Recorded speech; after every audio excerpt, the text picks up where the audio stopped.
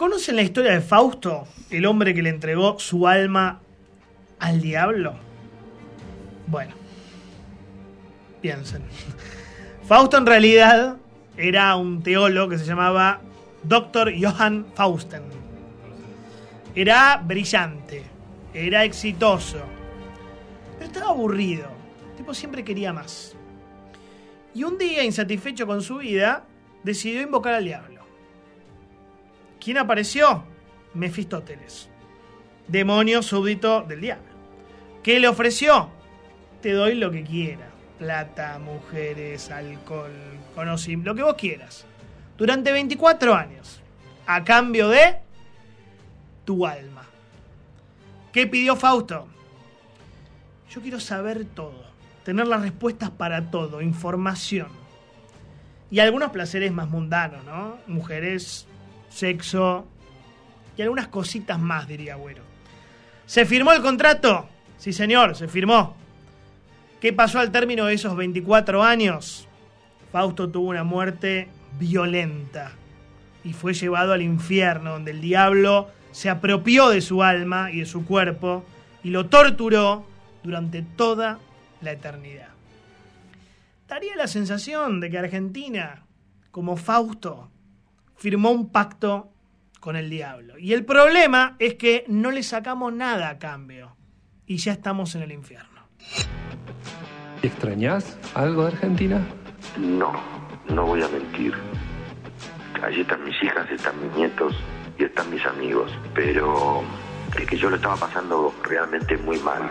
Resulta muy tóxica la Argentina, tóxica, tóxica Argentina. Y entonces el alivio que produjo, además, bueno, y salir de la reclusión, caminar por la calle sin miedo, también es uno se saca una mochila gigantesca, ¿no? Uno se saca una mochila gigantesca. Yo lo escucho una y otra vez este audio, duele, es un cachetazo, nos da un poquito de bronca, él está en España, está hablando Oscar Martínez, ¿no? Pero es la verdad, es la verdad. Argentina es un país tóxico. Argentina no es un país normal. Pensalo conmigo. Tuvimos la cuarentena más larga del mundo y ahí vamos por más. Estamos con ganas de más. Tenemos la cuarta inflación más alta del mundo. Tenemos los impuestos más altos de la región. Tenemos la mayor cantidad de piquetes del mundo, pero por lejos. Tenemos las clases más interrumpidas del mundo. No somos un país normal. Tenemos los sindicalistas más dinosaurios del mundo. Y tenemos la mayor cantidad de dólares afuera del sistema del mundo. Me gustaría que tomemos conciencia que Oscar Martínez tiene razón. En Argentina no se vive bien, se vive mal. Me gustaría que todos entendamos, te guste o no, Oscar, cómo piensa ideológicamente, que no es normal vivir así. ¿Por qué le cuesta tanto al gobierno hablar de nuevas restricciones? ¿Por qué Bisotti da una vuelta para no decir lo que van a decir hoy a la noche? Por la destrucción que generaron. Algunos números. Construcción.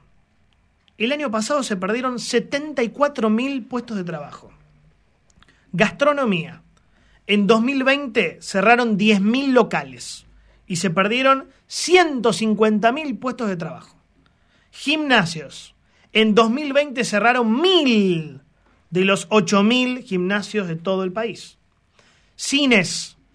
En 2020 dejaron de funcionar 87 salas sobre 266 que hay.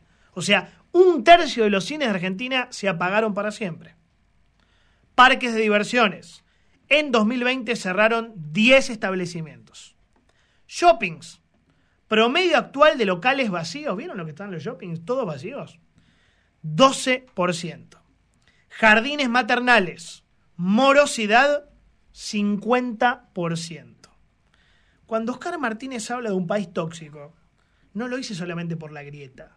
Lo dice por la destrucción económica, social y mental de la Argentina. Es un país destruido.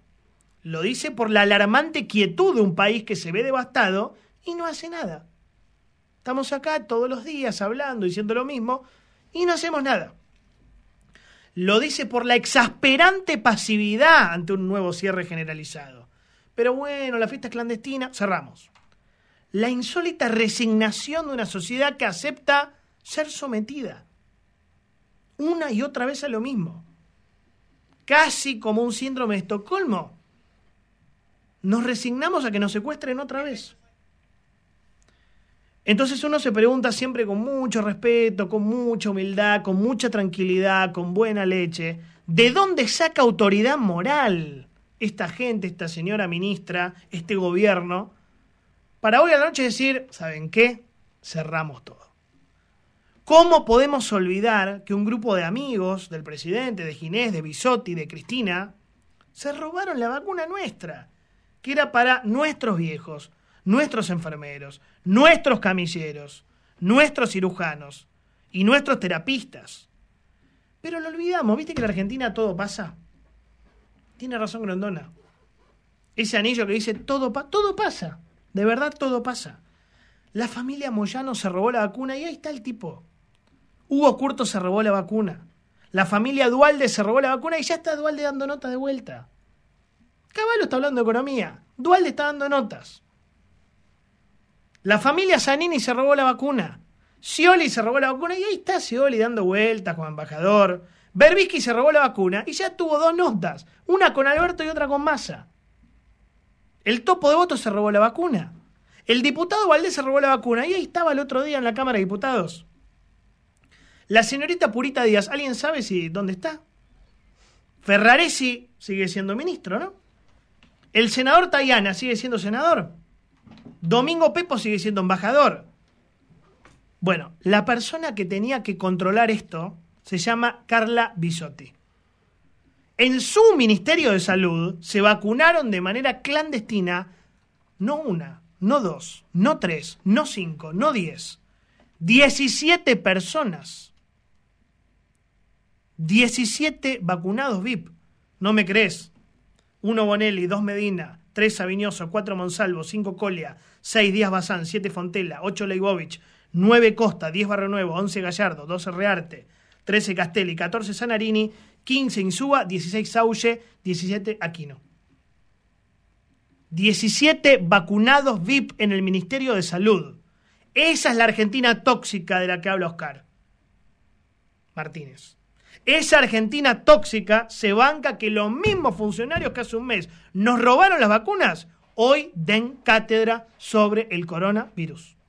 Los mismos funcionarios que provocaron una catástrofe social, según el INDEC, 5 de cada 10 argentinos usaron ahorros o vendieron pertenencias para sobrellevar la cuarentena.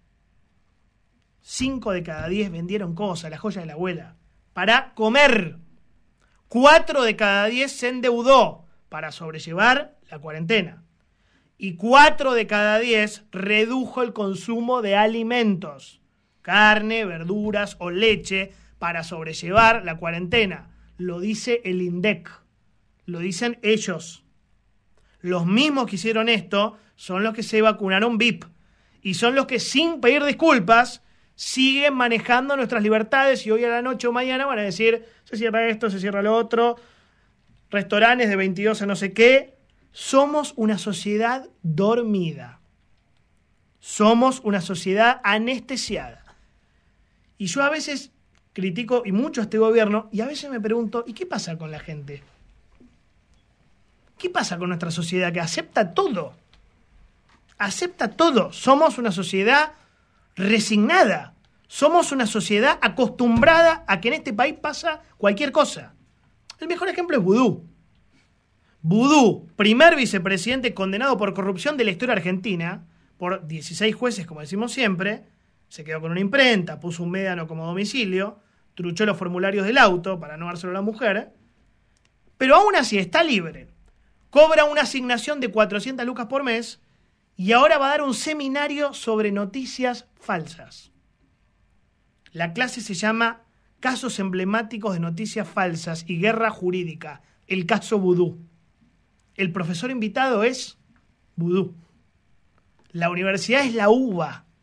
La UBA, la Universidad de Buenos Aires. La carrera Ciencias de la Comunicación. Dios mío, ¿nuestros comunicadores van a salir de ahí? Teniendo a Vudú como profe. Es optativo, aclaro. Eso es la Argentina tóxica de la que habla Oscar Martínez. Un corrupto te da clases de ética. Y un vacunado VIP te da clases de periodismo. Entonces lo que duele es ver que hay otros modelos exitosos. Lo que duele es ver que países que no están tan contaminados de odio, de bronca y de envidia y de corrupción y de sanata y de zaraza, no necesitan nuevas cuarentenas tan duras. Israel, mira, desde el pico de enero, mira Israel, ¿eh? 96% menos casos, 90% menos enfermos críticos diarios y 85% menos muertes. ¿Cómo lograron esta curva? Vacunando con una dosis al 61% de la población.